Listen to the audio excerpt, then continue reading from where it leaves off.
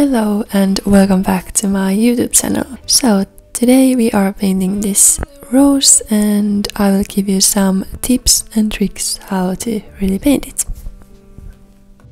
It's this brown color, you see they're very light brown um, and then if you add some, you mix that and some pink, you will get that muted tone I don't know if you see pink there, but there's a little bit pink. I filmed yesterday some of the clips I was painting this rose and um, yeah, it totally failed as you see. It looks so weird. This is my first ever rose that I painted uh, and it was that mm, realistic style and I was so proud of this one and it took me hours to paint. If it takes some time when you're painting don't be scared because if you want to paint something very beautiful it really can take some time but but it's worth it and you will be happy how your paintings look.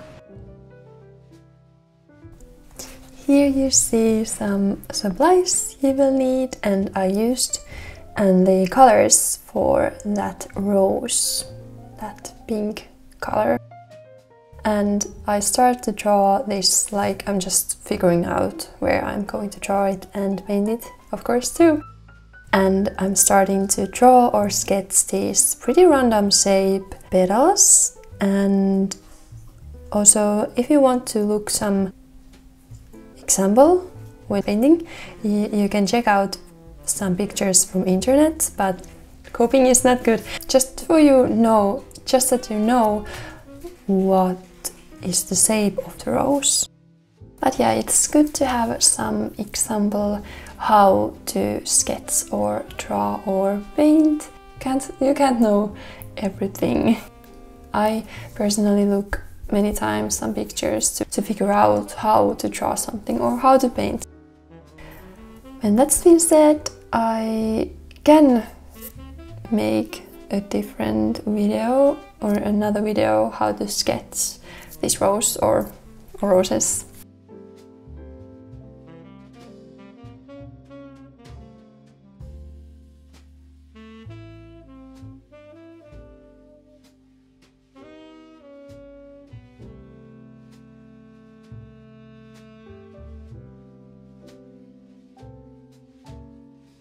Then we can mix some red and brown color together and as you see I'm using quite a lot of water. And I'm sorry that paper was very heavy we have a dog so yeah. But um, start to paint with very light shade of color. And here you saw that I painted with the shade but then I'm starting to spread that color like near the tip of the petal. You can paint with lighter shade of color and then when it's still wet you can add some darker shade so it like bleeds there very very nicely. If it's too dry already you can just use damp brush and blend it on that petal so it looks more natural and good. And you see that I used pretty dark shade of color there on a couple of places and I used that because there are of course places where places on everything where the light won't touch so much. So yeah. And when you have done those or when you are done painting those petals you can start to paint stems and use this pretty light shade of green and brown mix and of course, we are not ready with this rose or those petals, but you have to wait for them to dry so you can start to paint them again. And here I was painting also these leaves that, that are growing like there where the petals or rose, the actual rose, rose starts to grow. Uh, here I used some darker shade and of course then and then when you want to have that darker shade you need to use less water. And when it's when it's still wet you can uh, like you can blend it with damp brush. And continuing that blending to the tip of the petal and here I was adding pretty dark shade but you can see that how I use that brush to blend it and get that color more light and there I was also using like with the bigger petal I was using more water so you might need sometimes a little bit more water. You can practice this technique on other paper too so you won't miss your flower if the like you can always practice before painting the actual actual work artwork artwork or painting. Just adding some darker color this is more like brown color there's not much of red color mixing mixed to that brown. When it comes to middle part middle part of the rose you can paint a little bit like very tiny spots on the middle with the darker shade and in this case it's most likely brown color. And then blend it like from the middle to the tip of the petals almost. And then just adding some darker shades uh, here and there. So that rose really pops out you know it looks more like 3d you know more real and not just oh yeah you get that get that 3d effect. Yeah that's what i was like searching. Mm, but yeah if you have painted with, with too dark shade you can just use paper towel and take it off like pressing on you can press it on that color.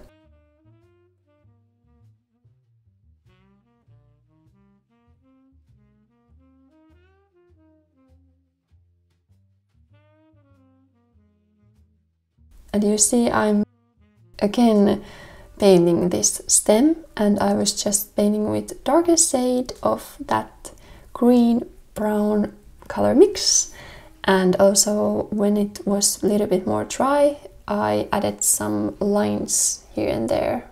So they are pretty pretty sharp lines.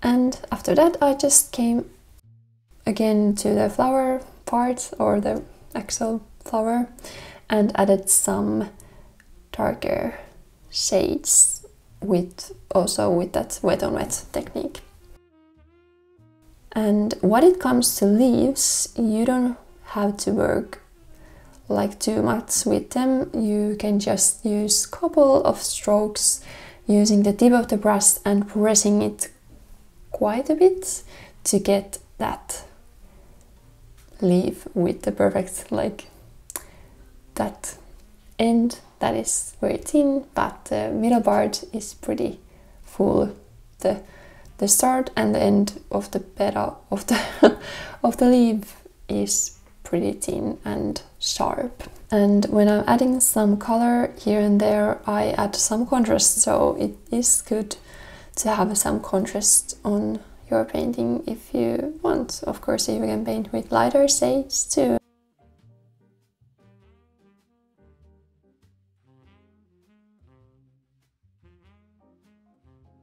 And when it comes to leaves, I just painted another layer, but way darker shade layer.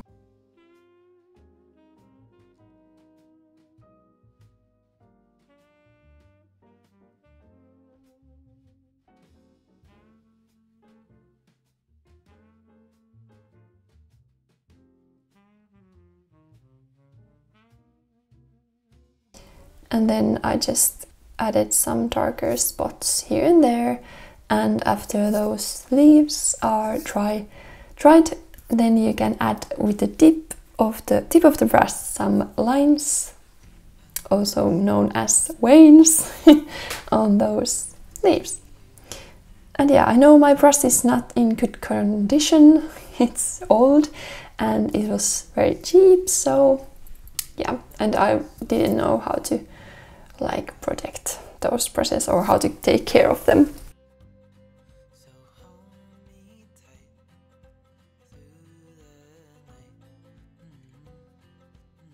Paint with the darker shade.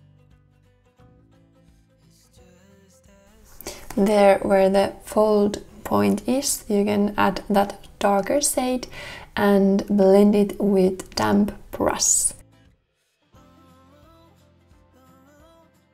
but don't work it too much so there's left some color. So don't don't blend it too much so you can actually see that there is shading. And add those shadings here and there where you want. You don't have to paint them all around the rose but if you want you can get that more realistic style of course when you have more of shadings.